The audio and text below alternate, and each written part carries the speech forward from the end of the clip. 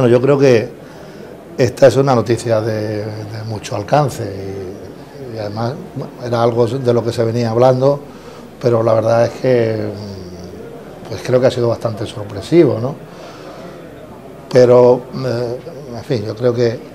esto nos permite, en primer lugar, hacer, eh, o debemos hacer un balance de lo que es la figura del rey Juan Carlos. Eh, es sabido que en España, en el marco de la Constitución, el rey reina pero no gobierna, digamos que el rey no tiene eh, capacidad ejecutiva, la capacidad ejecutiva en nuestro país está en el gobierno de la nación,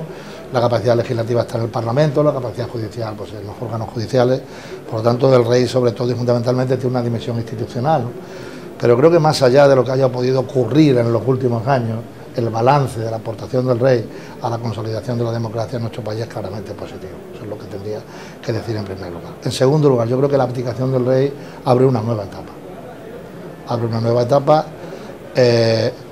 el, hecho de que el príncipe de Asturias,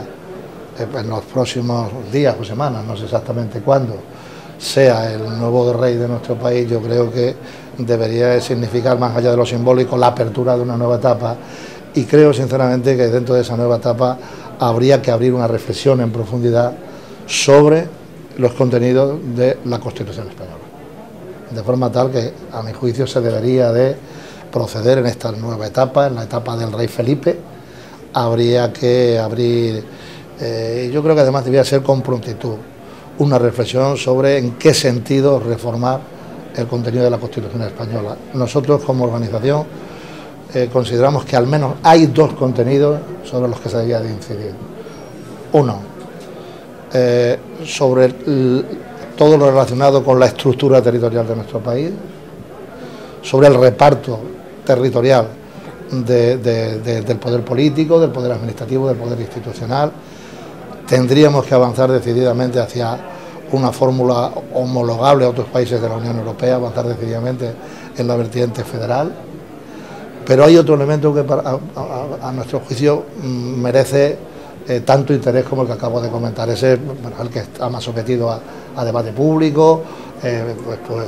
todo lo relacionado con el derecho a decidir en Cataluña, etcétera. Pero creo que hay otro elemento que no puede quedar en ningún caso en segundo plano, que es la necesidad ineludible de, en el marco de la reforma constitucional, abrir vías de participación directa de los ciudadanos ante las grandes cuestiones que tiene que abordar nuestra sociedad. De manera tal que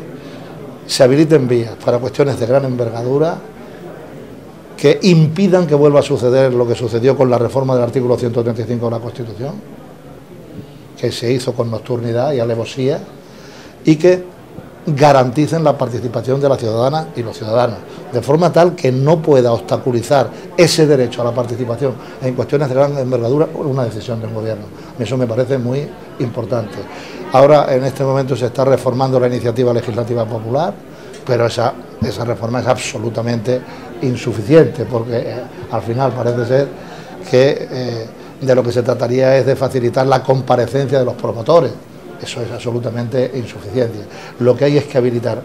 un mecanismo de participación directa de la ciudadanía, de forma tal que la ciudadanía tenga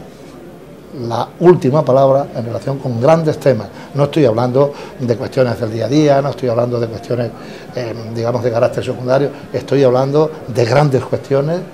que eh, son además objetivos como constitucionales, como puede ser el gran objetivo del empleo o la defensa de los servicios públicos o cómo abordar, digamos, el pago de la deuda en nuestro país. Estos eh, son, mm, a mi juicio, eh, los temas que se deberían de contemplar, es decir,